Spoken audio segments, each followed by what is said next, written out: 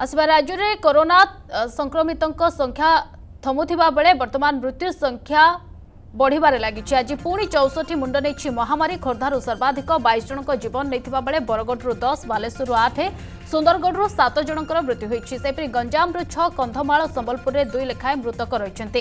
ସେପଟେ ଗତ ଚବିଶ ଘଣ୍ଟା ମଧ୍ୟରେ ରାଜ୍ୟରେ ଦୁଇ ହଜାର ସତୁରି ଜଣ କରୋନା ପଜିଟିଭ୍ ଚିହ୍ନଟ ହୋଇଛନ୍ତି। ଏଗାରଶହ ପଞ୍ଚାନବେ ଜଣ ସଙ୍ଗରୋଧ କେନ୍ଦ୍ରରୁ ଚିହ୍ନଟ ହୋଇଥିବା ବେଳେ ସ୍ଥାନୀୟ ସଂକ୍ରମଣରୁ ଆଠଶହ ପଞ୍ଚସ୍ତରୀ ଜଣ ପଜିଟିଭ୍ ଚିହ୍ନଟ ହୋଇଛନ୍ତି। ଖୋର୍ଦ୍ଧାରୁ ସର୍ବାଧିକ ଚାରିଶହ ଛୟାଳିଶ ଜଣ ଆକ୍ରାନ୍ତ ଥିବା ରାଜ୍ୟ ସୂଚନା ଓ ଲୋକ ସମ୍ପର୍କ ବିଭାଗ ପକ୍ଷରୁ ସୂଚନା ଦିଆଯାଇଛି।